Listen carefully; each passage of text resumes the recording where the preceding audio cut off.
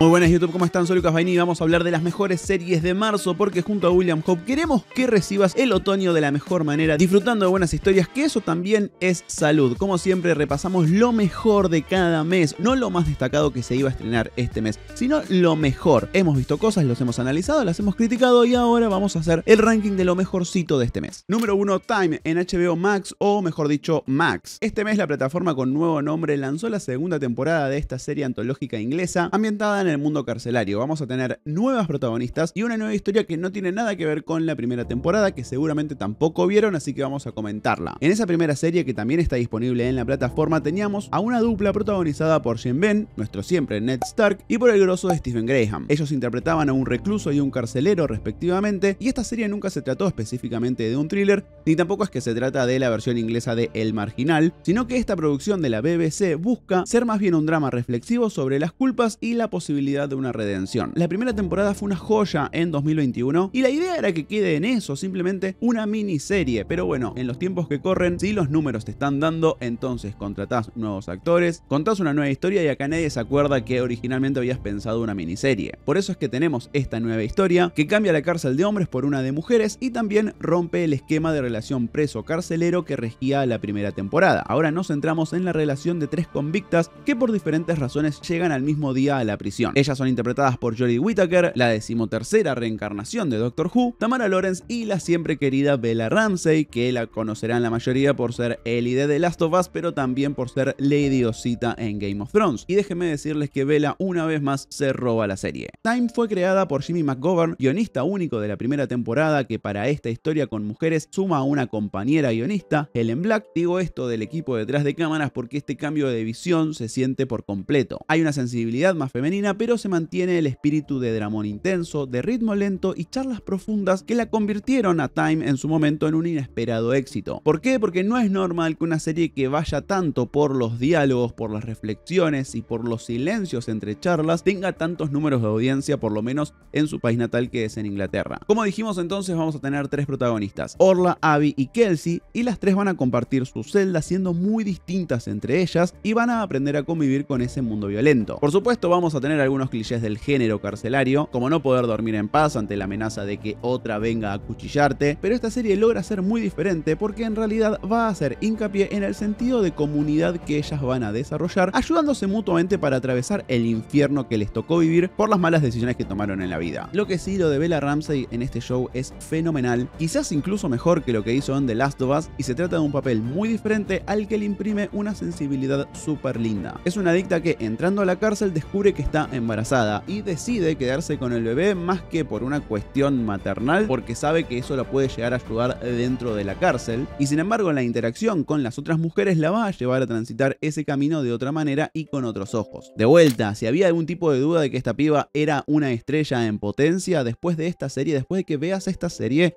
no vas a tener ningún tipo de dudas. Si sos adepto o adepta a las series inglesas y no habías descubierto Time, es tu momento para ir a verla porque es de las mejores en los últimos años. Número 2, Soy Extraordinaria, temporada 2 en Star Plus. Y yo pensé que el año pasado habíamos descubierto más personas esta serie hermosa, esta comedia tan linda dentro de un mundo en donde todos tienen poderes, pero me parece que no es el caso porque se estrenó la segunda temporada sin ningún tipo de pena ni gloria y con algunos cambios en la estructura la verdad es que sigue siendo igual de buena que la primera. Esta es una serie inglesa chiquita con mucho corazón y un humor muy interesante que se ríe del mundo de los superhéroes y al mismo tiempo te das cuenta que quiere muchísimo al género. Para quienes no la conozcan, Soy Extraordinaria está ambientada en un mundo donde todos, absolutamente todos los mayores de 18 años consiguen un poder. Acá ser un superhéroe es algo completamente mundano, por lo cual los poderes son tantos que a la mayoría le tocan habilidades completamente intrascendentes o incluso estúpidas. En medio de toda esa gente aparece la protagonista de Soy Extraordinaria, Jen, que es una piba que llegó a los 25 años sin haber recibido su poder, por lo cual es especial pero al revés. Así durante la primera temporada vamos a ver cómo ella desesperadamente quiere un poder o una habilidad y la acompañamos en su camino para conseguirla. Este mes entonces estrenó la temporada 2 que tiene una continuidad directa con la 1, donde vemos a Jen ingresando a una clínica donde se supone van a desbloquear por qué no recibió su poder y van a tratar de averiguar cuál es. Soy Extraordinaria tiene una estructura de sitcom en donde a la protagonista la rodea un grupo de amigos que todos viven en el mismo lugar, que son Carrie, cuya capacidad es que los muertos pueden hablar a través de ella, su novio Cash, que trata de mejorar sus habilidades para rebobinar el tiempo y la verdad es que está cada vez más parecido a Luquitas Rodríguez, y Lord, un tipo que puede convertirse en gato y es uno de los personajes más lindos de la serie, si no el más. Más allá de que mucha gente que esté viendo este video todavía no vio esta serie, estoy seguro, no voy a meterme más en la trama, solo asegurar que la temporada 2 mantiene la gracia y la frescura, además de mostrarnos un elenco con todavía más química, algo que sucede mucho en las sitcoms que son buenas. Esta segunda temporada también supera un obstáculo muy difícil, que es que la serie sobreviva a su premisa una vez que ya es conocida, o sea, el efecto de sorpresa ya pasó. Es que el nivel de humor bizarro está por las nubes y como factor distintivo, mientras todos los personajes siguen con sus propias tramas y conflictos delirantes, la serie aprovecha la crisis de su protagonista para meter un poco más de emoción, porque ese también es un detalle muy lindo. Jen, al principio, cuando la conozcamos, y en los primeros episodios nos va a mostrar que es una de las peores personas vivas o una persona sumamente rota. Para verla mejorar en esta segunda temporada, la serie se pone un poco más profunda, pero por suerte nunca abandona el objetivo principal que tenía, que era hacerte reír. Un aviso importante, todavía no tiene renovación de tercera temporada, así que creo que todo depende de los números. Vayan a verla porque merece seguir contándose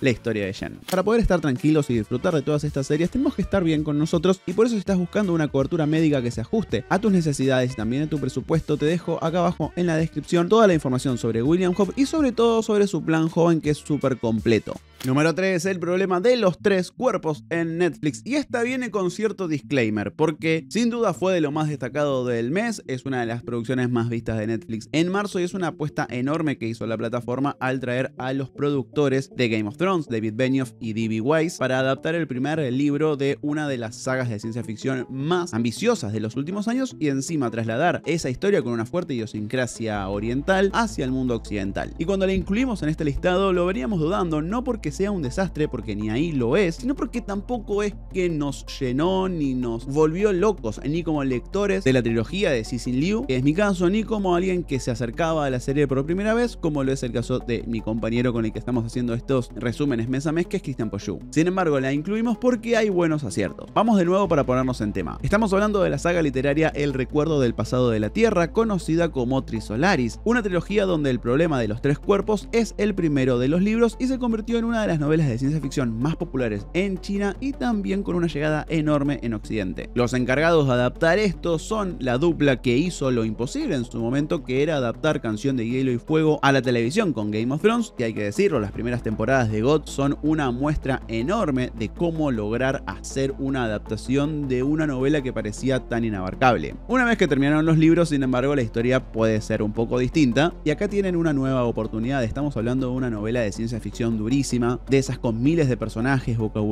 muy específico, tramas densas y complejas que se desarrollan a través del tiempo y el espacio que no son para todo el mundo. Es un tipo de historia, la novela, que va por el andarivel de la fundación de Asimov o la misma Dune de Frank Herbert. Son historias que requieren una enorme inversión para recrear mundos y que puestas ante los ojos de un público masivo pueden llegar a recibir el título de es un bodriazo, no pasa nada. Y lo más peligroso es que al mismo tiempo que recibís esos comentarios también tenés a los talibanes de los libros diciendo no me cambien absolutamente nada porque es un fragelo. Con el problema de los tres cuerpos, en algunos momentos de esta primera temporada pasa eso. ¿De qué se trata? Hay una gran revelación que sucede recién en el tercer capítulo, pero hasta ahí parece que estamos ante algo inentendible y que jamás podríamos explicar. La serie arranca en China en los años 60 con una escena que es imposible no nos remita a Game of Thrones, con una joven viendo cómo una muchedumbre ejecuta a su padre en un acto público. Imagino que ya les está sonando. Eso la va a llevar a emprender un arco de venganza que afectará a todo el futuro, tomando una decisión que impactará a través del tiempo, llevándonos a 2024, cuando todos los científicos del mundo se están suicidando de manera misteriosa y las leyes de la naturaleza se comportan de manera inexplicable. Un policía va a estar investigando todo esto, interpretado por Benedict Wong, y llega hasta cinco jóvenes investigadores con quienes va a enfrentar esa realidad extraña que se está viviendo, la cual también además involucra una tecnología superpoderosa, una cuenta regresiva que aparece en la mente de una de las protagonistas y un videojuego tan realista que mete miedo. Sí, parece que metí la trama de cuatro series diferentes en una sola y un poco se siente así, pero nada termina siendo tan complejo como parece si tienen un poco de paciencia. Porque sí, durante el primer episodio vas a sentir que está costando entrar al problema de los tres cuerpos, pero esa sensación se va a ir bastante rápido una vez que llegue la revelación de qué es lo que está pasando. Y ahí, como decíamos, hay un acierto de Benioff y Weiss, que se especializan en simplificar cosas y lograr que el público masivo entienda lo que se está contando. Como lo hacen yendo a la inversa de otras series de ciencia ficción dura como lo fue Westworld, por ejemplo, en donde cada capítulo parecía que se iba enredando más y más y más y más. Y acá pasa todo lo contrario. A medida que pasan los episodios, las cosas se van aclarando, todo se explica mucho antes de lo que uno esperaría, cosas que quizás son para revelarse en otra temporada quedan expuestas en el capítulo 3, y todo eso hace que esta serie sea súper digerible y te den ganas de seguir viendo, viendo capítulos. Como resultado tenemos una trama bastante simplificada, lo que puede ser un pecado para los lectores de la novela, y prepárense para muchos, muchos cambios, pero le sirve a la serie para abarcar a un público mayor. Después que te interese o no lo que se cuenta y sobre todo cómo se cuenta ya es otro tema, pero como serie televisiva supieron agarrar esas novelas inadaptables y crearles una estructura que funciona como un relojito. Lo que pasa también con esta simplificación es que en el camino se sacrifica bastante de lo que hace a la novela de El problema de los tres cuerpos algo bastante único para leer, sobre todo desde nuestra visión occidental. No quiero decir es muy china la novela, pero sí hay una cuestión de cómo piensan la ciencia ficción los escritores chinos que no se repite en autores occidentales. Y acá tenemos esa versión más occidental de la misma historia que nos contaron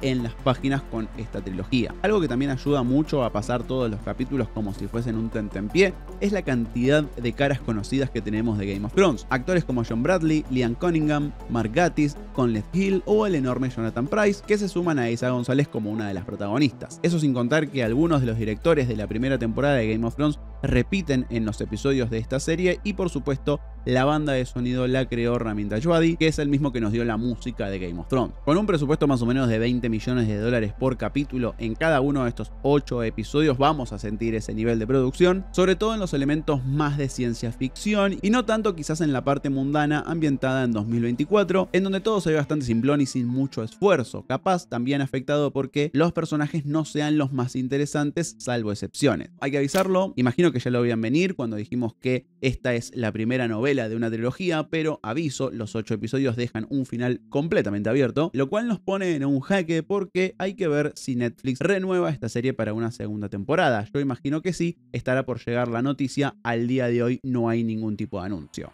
Número 4, Coppola, el representante en Star Plus. Esta fue una de las series argentinas más esperadas de lo que va del año y está basada en la vida de Guillermo Coppola, uno de los personajes más controvertidos, raros de la farándula y el deporte local. Y digo, está basada en la vida de, pero en realidad está basada en las anécdotas de Guillermo Coppola. Sé que hay mucha gente de otros países que ve este canal y no tiene ni idea quién es o quién fue Coppola. Básicamente se hizo muy muy conocido por ser el representante de Diego Maradona durante la mayoría de su carrera. Él es el típico argentino canchero, el tipo que te da vuelta una conversación con anécdotas que en otra boca no creerías ni de casualidad, pero que siendo narradas por él, te comes cualquier historia que te cuente. La serie te presenta eso, un narrador nato, además de un tipo muy inteligente para hacer negocios. De vuelta, Coppola es el tipo que estuvo más cerca del 10 y sabe absolutamente todo lo que el Diego hizo y también deshizo. Por todo esto, una serie sobre Coppola podría ser absolutamente oscura, pero en cambio su creador y showrunner, Ariel Winograd, decidió ir por el lado opuesto, que de entrada se siente un poco que agarraron anécdotas sueltas que el conocido Guillote contó en algún programa de televisión y la transformaran en episodios completamente irreales donde todo está permitido. En cada momento que podríamos meternos en algún lugar turbio y difícil de explicar, se llena con mucho pero mucho humor y muy bien ejecutado. Me encantó la decisión de nunca mostrar a Diego Maradona. Durante toda la serie no lo vamos a ver, pero su presencia está ahí todo el tiempo. Siempre se alude a él, siempre se habla de él y Guillermo tiene ciertas vivencias que suceden a partir de él. Esta comedia salvaje no funcionaría si no tuvieses una referencia absoluta como lo es Juan Minujín en el papel protagonista. Juan lo da todo interpretando a este tipo que tiene que caerte bien, aunque no estés para nada de acuerdo en sus manejos ni siquiera en todo lo que representa. Él se come la pantalla y la verdad es que su cópola es el único personaje que recibe un tratamiento. Ninguno de los otros personajes, nadie a su alrededor, tiene un desarrollo típico de una serie, sino que son simples elementos o chistes que sirven para mostrarnos quién es Guillote y cómo se construyó en el manager que terminó siendo. Además también se puede llegar a interpretar como la visión que tenía en su momento Guillermo Coppola de todos a su alrededor. Eran simplemente dispositivos para lograr lo que él quería. La serie le va a seguir el juego a esas anécdotas que tienen más chances de ser verdaderos bolazos que algo que realmente ocurrió, por lo que pareciera que estamos ante sueños filmados delirios místicos e historias improbables contadas como si hubiesen sido ciertas, Winograd va a hacer magia con cada uno de estos episodios, llenos de anécdotas desplegando un aluvión de recursos visuales y narrativos, guiños y referencias a la tele de los años que transita la historia, desde fines de los 80 hasta entrados los 2000. Siento que hay una influencia directa de una serie que me encantó sobre todo por su estilo, que es Winning Time, la historia de Los Ángeles Lakers, y esa influencia está aplicada acá de una manera genial porque le da un ritmo que las comedias de Argentina no suelen conseguir sacándote risas todo el tiempo, estimulándote todo el tiempo, lo cual hace que no te preguntes demasiadas cosas más profundas del personaje. Lo que más me sorprendió, más allá de la habilidad de Juan Minujín, es esto, el festín visual que representa Coppola, la serie, y si bien se trata sobre Guillermo, también es un retrato muy interesante, pintoresco y hasta incluso onírico de la fauna que fue la farándula y la actualidad argentina en los años 90. Y número 5, Shogun en Star Plus, y estamos hablando de una de las mejores series del año, no de lo que va del año, porque me animo a decir que a menos que salgan 10 cosas increíbles de acá a diciembre, Shogun va a estar en ese listado. Bueno, a menos que pase una catástrofe y los últimos dos capítulos sean desastrosos, pero es imposible que pase. Este es el gran tanque de FX y a nosotros nos llega a través de Star Plus, que por cierto la plataforma está por desaparecer ya que se va a asimilar con Disney Plus y va a ser solo una, y se trata de la miniserie que adapta la novela de James Clavell, la cual se convirtió en un clásico con todas las letras y generó una locura de consumo de cosas japonesas en los 80. Si quieren saber más sobre esa historia de Shogun, hay un video en el canal al respecto, pero esta miniserie adapta la historia de John Blackthorne, un marinero inglés que acaba naufragando con su tripulación en el Japón del 1600, lugar donde se cruza con Lord Toranaga, un tipo poderoso que junto a otros cuatro señores manejan los hilos de este Japón feudal que se encuentra al borde de la guerra civil porque murió el líder, el Taiko, y su único heredero todavía es un nene. Mientras que esperan que este chico crezca y lo pueda suceder, estos jefes de cinco clanes se van a enfrentar en luchas políticas y traiciones de las cuales, sin quererlo, este marinero inglés va a ser parte y muy clave. Hay una tercera pata protagonista entre la enorme cantidad de personajes que van apareciendo y desapareciendo a lo largo de los episodios, y es Lady Mariko, una mujer con un pasado familiar que le pesa y es designada como intérprete de este capitán inglés. Ellos tres van a formar una triada de personajes que es el eje principal de este relato apasionante que si fuera una serie y no una miniserie podría al fin reclamar el lugar que dejó vacante Game of Thrones y que tantas series han intentado retomar. John es interpretado por Cosmo Jarvis que no tengo pruebas pero tampoco dudas de que se sentó durante horas, horas y horas a estudiar los gestos de Tom Hardy en la serie de Tabú o su participación en Peaky Blinders para imitarle absolutamente todos los gestos y no lo estoy diciendo como algo malo porque la decisión es acertadísima, ya que le sienta perfecto a este personaje que se encuentra en una tierra que no conoce, con un lenguaje que no entiende y una cultura que le resulta absolutamente incomprensible, pero por la cual se va a ir fascinando de a poco mientras se convierte en un peón dentro de toda esta lucha de poder. Como dije, es la gran apuesta de FX y se nota porque no se ahorraron ni un centavo, ya que la calidad es absoluta y por suerte la serie no triunfa solamente en lo realizativo y en una puesta en escena espectacular que recuerda el cine japonés histórico y épico, de hecho nutre mucho de lo que fue Ran de Akira Kurosawa, sino que también es una maravilla narrativa poniendo el énfasis en un choque de culturas que va a modificar a los protagonistas al tiempo que se debaten lealtades, religión, moralidad y honor, mientras todo conduce a una batalla que parece ser inevitable. Y sigo con las comparaciones con la primera temporada específicamente de Game of Thrones, porque ahí si se acuerdan, lo importante no era la espectacularidad de las batallas, sino la lucha de poder, una historia en donde el silencio o las miradas lo dicen todo y un movimiento de cámara revela más que un montaje alocado de mil planos y mil espadas cruzándose. La profundidad surge de cómo van desarrollando las relaciones y transformaciones de los personajes con un nivel de interpretaciones enorme en el que al fin encuentra un merecido protagónico el gran Hiroyuki Sanada, a quien vimos mil veces en roles secundarios y que acá es uno de los puntos más altos como este verdadero estratega. Su interpretación es de gestos económicos, pero cada una de sus miradas tiene un peso total. Por su parte, Mariko es interpretada por Anna Sawai, una ascendente actriz que ya brilló en Pachinko y también en la serie de Godzilla, Monarch, en donde está muy bien, pero siento que este papel le quedó como un guante en la mano e incluso los looks que lleva a lo largo de todos los capítulos hacen que no pueda sacarle los ojos de encima. Es bellísima. También un acierto muy bueno de Shogun respecto a la novela y también a la miniserie que en su momento explotó todo, es que ya no estamos viendo todo el tiempo la historia a través de los ojos de John. Eso hubiese hecho que esta historia sea otra más de un Salvador blanco que llega a una tierra extraña y acá no, al ver puntos de vista diferentes de distintos personajes, sentimos que nos estamos metiendo 100% en esta cultura que nos puede resultar tan alejada. De verdad, el resultado final de lo que viene siendo Shogun es espectacular y da hasta un poco de pena no poder ver esto en cine. Muchas gracias por llegar hasta el final, gracias por el like, la suscripción y como siempre decimos con William Hope, disfrutar de estas historias nos hace bien y eso también es salud. Ahora sí, nos vemos en el próximo. Si os querés.